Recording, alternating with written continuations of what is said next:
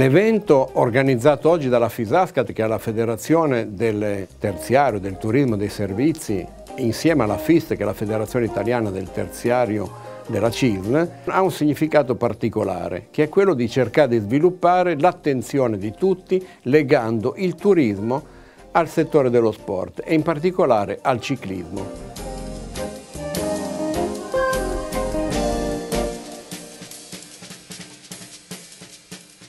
Ringraziamo il Comune di San Lorenzo al Mare che ci ospita e che è uno degli attori principali di questo memorabile evento di grande richiamo internazionale sportivo. Ringraziamo in particolare il Sindaco Paolo Tornatore, la Giunta e il Consiglio Comunale di San Lorenzo al Mare. I nostri ringraziamenti sono rivolti anche ai relatori, agli ospiti e alle autorità presenti. L'occasione di oggi ci consente di riaffrontare un tema che già avevamo affrontato nel 2000 quando si sviluppò l'iniziativa, la prima iniziativa realizzata in questo territorio per la creazione della pista ciclabile. All'epoca si progettò questa opera che fu realizzata negli anni successivi e noi già eravamo presenti. Siamo fieri di aver partecipato a quell'occasione, come siamo fieri di partecipare oggi per lanciare questa nuova proposta di un turismo sempre più legato allo sport, al ciclismo e alle varie opportunità di crescita che nel nostro Paese ci sono.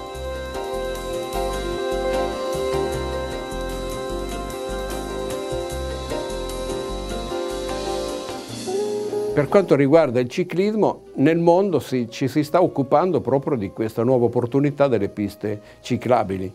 Eh, per esempio in Olanda si progettano già piste ciclabili bioluminescenti come, quelle, come quadri futuristi, eh, riteniamo ora utile far riferimento ad esempi già citati allora e che ribadiamo per spiegare come una località come il Ponente Ligure può attestarsi come una delle aree del Mediterraneo in grado di sviluppare il binomio turismo-ciclismo. Il turismo è un settore labor intensive nel quale proprio il lavoro, la manodopera eh, ricopre uno dei ruoli principali. A differenza dei settori manifatturieri il turismo vende sensazioni, vende un prodotto che soprattutto si basa sulla capacità di poter ricordare con piacere una località nella quale si è fatto turismo.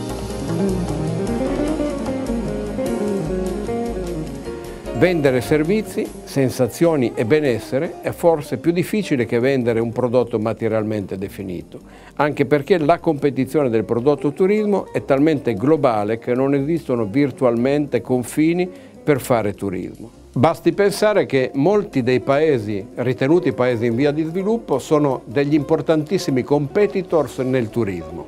L'ambiente e il territorio mentre per il settore manifatturiero sono un ambito dove produrre, per l'economia turistica sono invece due fattori fondamentali ed un bene primario per lo sviluppo e la sostenibilità del turismo.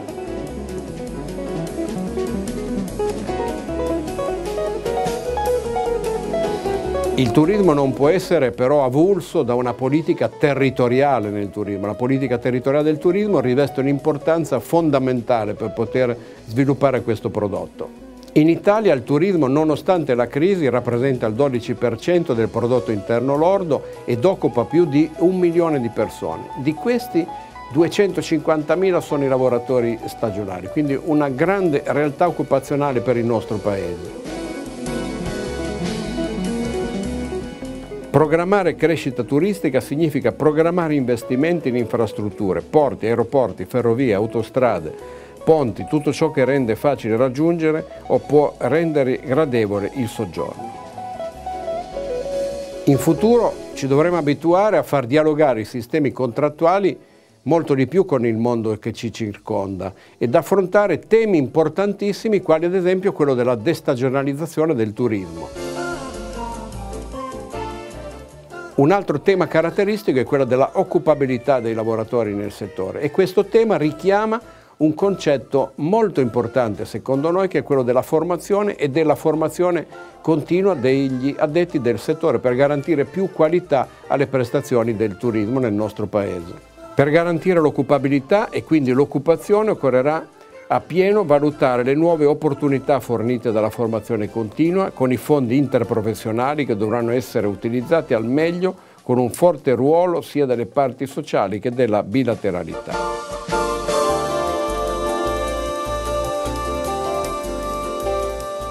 Il turismo rappresenta una grande opportunità di crescita per tutti e noi siamo convinti che ad esempio nel bacino del Mediterraneo nei prossimi anni si identificheranno sempre più delle aree specifiche nelle quali sarà possibile sviluppare questo grande prodotto turistico. Turismo, sport e ambiente sono intrinsecamente depositari e simboli di valori positivi. Rappresentano un triangolo vincente a prescindere dal target a cui si riferiscono. Per fare un esempio, la classica del campionato del mondo di ciclismo Milano-Sanremo attira circa 25 squadre e oltre 200 professionisti ogni anno. Viene trasmessa in diretta in 53 paesi del continente. Sul percorso quasi un milione di appassionati eh, seguono l'evento. Il turismo sportivo per sua natura possiede enormi potenzialità per lo sviluppo non solo economico ma anche socio-culturale. Tra i temi dello sviluppo del turismo noi identifichiamo anche in particolare quello del turismo che si sviluppa anche attraverso le occasioni fornite dallo sport. Questo concetto fu sviluppato già qualche anno fa, ma anche moltissimi anni fa, quando il turismo di fatto fu legato anche alle prime Olimpiadi qualche millennio fa e sarà necessario riprendere questo concetto sempre più del turismo legato anche allo sport, agli eventi sportivi, come in questo caso al ciclismo.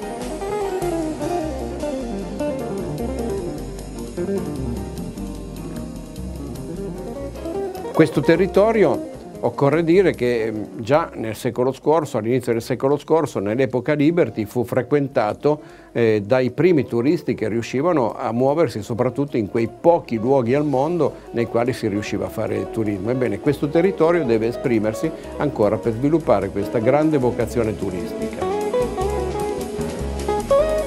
In quell'epoca nacque anche la casa da gioco di Sanremo, nacquero delle attrazioni importanti eh, per quest'area che fecero la differenza rispetto ad altre aree del paese che svilupparono un turismo eh, sempre più di qualità eh, in questi ultimi decenni. Importante per la competitività del territorio è anche la questione del clima. In questa area il clima ha una situazione molto particolare, un microclima assolutamente favorevole anche alle manifestazioni sportive e soprattutto per il turismo. Il mare d'inverno è una frase, un verso di una poesia, sarebbe di una canzone, ma di una poesia, e dice è un concetto che il pensiero non considera. Perché? Perché eh, d'inverno non si può fare il bagno, ma a parte questo si può fare qualunque altra cosa. Anzi, la si fa meglio perché c'è meno gente, non è solo l'inverno, anche la primavera, anche l'autunno. Ci sono delle zone del mondo in cui questo viene un po' meglio e la Liguria è una di queste perché sappiamo che è eh, protetta in parte dalle Alpi, in parte dagli Appennini e quindi quello che anche in altre zone di mare avviene, sull'Adriatico per esempio, le irruzioni di aria fredda, siberiana, che abbassano le medie, se andiamo a fare delle, dei confronti, le medie della, eh, della Liguria anche d'inverno sono leggermente più alte e d'altra parte è una di quelle zone come la Costa Azzurra che è la sede di villeggiatura anche delle persone anziane, dei pensionati, perché il clima aiuta, non fa mai troppo freddo, a volte fa freddo, non ci nascondiamo che il cambiamento climatico, il riscaldamento globale non significa che fa più caldo ovunque, significa che il clima diventa irregolare, fa molto caldo, può fare molto freddo, l'abbiamo visto qualche anno fa, i fenomeni estremi non risparmiano la Liguria, ma non risparmiano nessun'altra parte del mondo, perché è un problema con cui abbiamo necessariamente a che fare. Però andare in vacanza, chi può, fuori stagione, credo che sia un'idea veramente geniale. Parlavamo prima di destagionalizzazione. La destagionalizzazione per i vari fattori, da quelli climatici agli altri che abbiamo eh, trattato, eh, è un'opportunità che assolutamente bisogna cercare di seguire nei prossimi tempi. Noi spesso facciamo l'esempio di Cipro. Cipro è un'area del Mediterraneo che più o meno è alla nostra latitudine, che ha saputo sviluppare attraverso un clima favorevole anche un meccanismo di destagionalizzazione, attraendo sul proprio territorio anche le opportunità del turismo, compreso il turismo legato al ciclismo. Altre località nel Mediterraneo hanno utilizzato il clima e la possibile destagionalizzazione, come ad esempio è il caso delle Baleari. Le Baleari attraverso eh, una serie di iniziative sviluppate a partire dal comune di Calbià sono riuscite a sviluppare la possibilità di destagionalizzare il turismo, proprio attraverso anche una serie di iniziative che hanno consentito di lavorare su tutto l'arco dell'anno. Anche le iniziative che sono state svolte, sollecitate anche più volte dalla Fisascat e dalla CISLE in questo territorio per quanto riguarda la nautica da diporto, hanno consentito di sviluppare un periodo di turismo che sia sempre più allargato durante l'anno e questa è una delle strategie vincenti che occorrerà seguire anche in futuro. La vocazione turistica è sicuramente quella sulla quale puntare per i prossimi decenni per sviluppare quest'area, ma per sviluppare anche il nostro paese in genere. Secondo noi occorre scegliere oggi per le strategie di domani. Scegliere oggi significa proprio in questo periodo, che è il periodo nel quale l'Italia si presenta all'esterno, con l'Expo, con il Giubileo. È necessario sviluppare nuove iniziative, come quella che si sta sviluppando eh, ora, legando il turismo allo sport, al ciclismo, che possono consentire di sviluppare il turismo nel nostro Paese. Questa è un'economia competitiva che potrà fornire nuove opportunità all'economia italiana, nuove opportunità all'occupazione, nuove opportunità ai giovani per avere un lavoro e per poter competere in termini globali nel mondo con il nostro prodotto principale che è quello del turismo.